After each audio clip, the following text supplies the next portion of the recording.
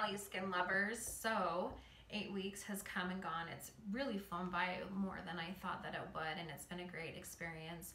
Let me touch base real quickly with what we did today as far as our last treatment with Cresta.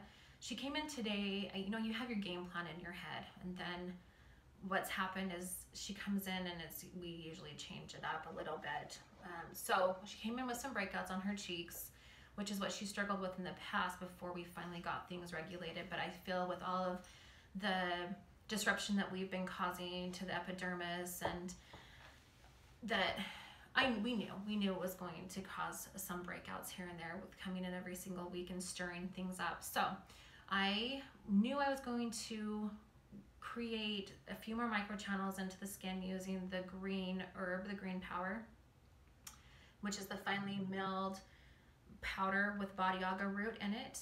And I, when I saw that she had the breakouts, I decided to add a little bit of the Vitabright, which is the enzyme. It's a gentle enzyme, but still has a kick to it because it has the mandelic in it. And then I added the lactic rebuilder, the lactic definer.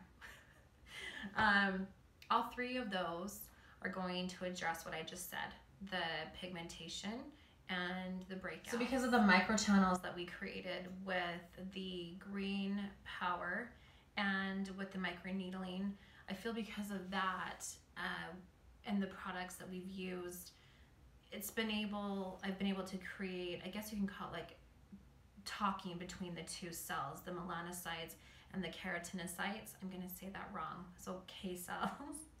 but created a, you know, a signal between the two that it they can talk to each other and they help even each other out so that it's not producing as much melasma and it's calming everything down and then dispersing it and dispersing it up and out. So I really felt that those two, we've really used those a lot, um, that those have really helped with her. And so I'm very glad that I pushed myself to do this because it's only furthered her results and her results should just keep getting a little bit better with the microneedling that we've done and then the green herb that we've done and, and the acids that we've used.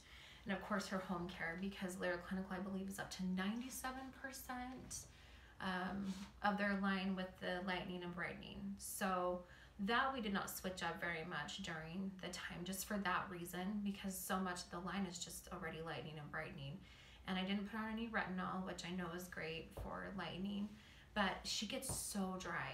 So I just decided just to be on the safe side. She's used mostly the hydrating and of course um, the lightening products. So she and I are very, we're happy with where she's at and she'll continue to come see me monthly, she said and it's been a really good ride.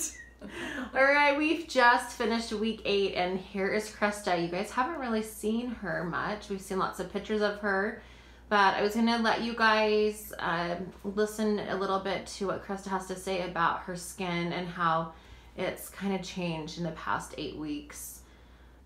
So, how had she was telling me about her friend and what her friend said about her skin.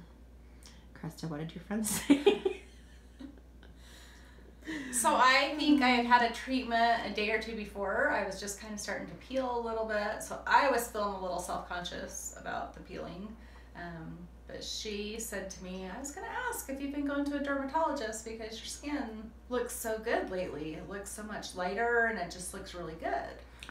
So thinking maybe you'd had some right. maybe some she laser was, treatments. Yeah, she was thinking I'd gone and had laser treatments, something really invasive. So that was good. That is good. And I feel like we can both agree that in the past year we have come a long, long yes. ways with the melasma. Yes. Um, we've really pushed your skin and you have been a super, super amazing trooper and she travels about 30 minutes to come see me once a week so that's a big deal too so yay we are done